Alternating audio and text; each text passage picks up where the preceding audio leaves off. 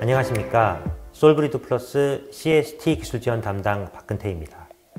이번 시간에는 솔버 초이스, 즉 해석하시고자 하는 조건에 맞는 솔버를 어떻게 선택할 것인지에 대한 시간을 갖도록 하겠습니다. 그럼 저와 함께 화면을 살펴보도록 하겠습니다. 화면을 보시면 어플리케이션별로 솔버를 어떻게 설정할지에 대해서 이해하시도록 쉽게 그림으로 표시해 놓았습니다. 우측 상단부터 시작해서 정기적인 크기가 크거나 또는 작거나 공진이 강하거나 약하거나 그리고 특색이 제한적이거나 광범위하거나 또는 밴드위스가 넓거나 좁거나 이러한 상황별로 여러분들은 최적의 솔버를 선택하셔서 해석을 진행하실 수가 있습니다. 자, 이 화면에서는 여러분들이 솔버를 선택하기에 앞서 각각의 솔버의 특징에 대해서 정리해 놓았습니다. 좌측편에 있는 T솔버 그리고 F솔버의 경우 기본적으로 볼륨을 가지는 mesh를 가지고 있습니다. 그리고 I솔버와 A솔버 같은 경우는 표면에만 mesh를 나눠주는 형태를 가지게 됩니다.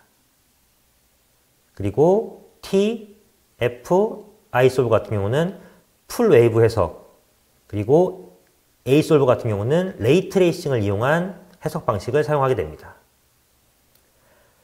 T솔버는 FIT, Finite Integration Technique, 즉 수치 적 분을 취하여 행렬 방정식을 유도하고 그 행렬 방정식으로 해석을 하는 방식입니다. 그리고 헥사헤드랄, 즉 육면체 메쉬로 나누어지게 되는 구조입니다. 다음은 F솔버입니다. F솔버는 FEM. 여러분들도 이미 많이 들어보셔서 아실 텐데요. Finite Element Method, 즉 유한 요소법.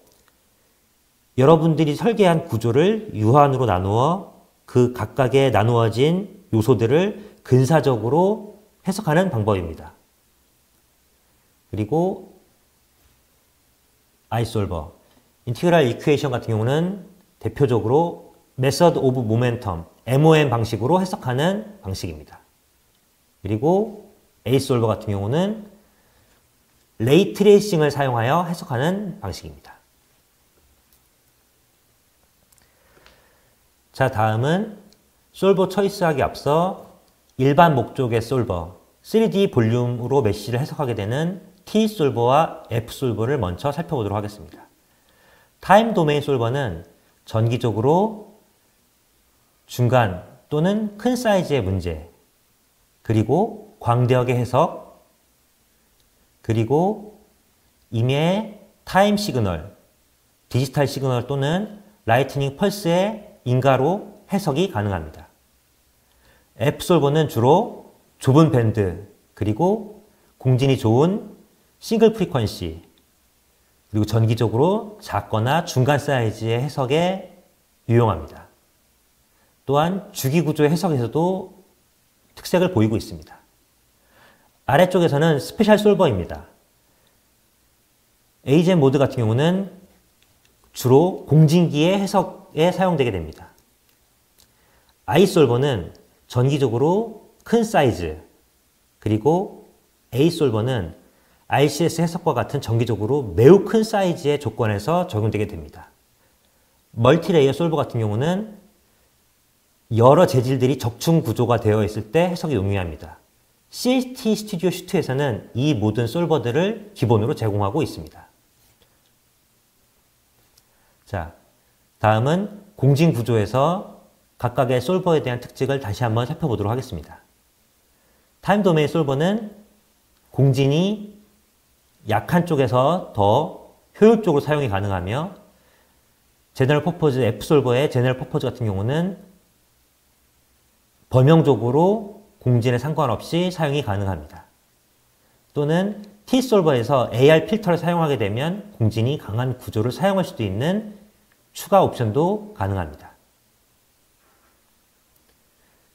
F솔버 같은 경우는 T솔버보다 공진 구조에서 더욱 강력한 효과를 발휘할 수 있습니다.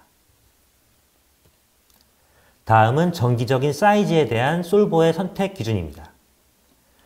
F솔버는 기본적으로 소형에서 중형 크기의 정기적인 사이즈 해석에 유용합니다.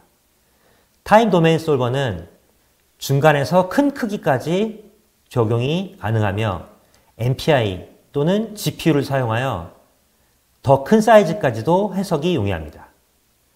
I solver 같은 경우는 이렇게 중간에서 대형 그리고 A solver 같은 경우는 매우 큰 사이즈의 해석에 보다 유리합니다. 다음은 밴드위스입니다. 밴드위스가 좁은 형태 같은 경우는 주로 아이솔버 그리고 F솔버 그리고 밴드위스가 넓어지는 같은 경우는 T솔버가 매우 유리합니다. 자 이번 시간에는 저와 함께 솔버 초이스에 대해서 간략하게 살펴보았습니다. 여러분들이 해석하시고자 하는 상황과 조건에 맞게 조금 더 효율적이고 간편하게 솔버를 선택하셨으면 좋겠습니다. 감사합니다.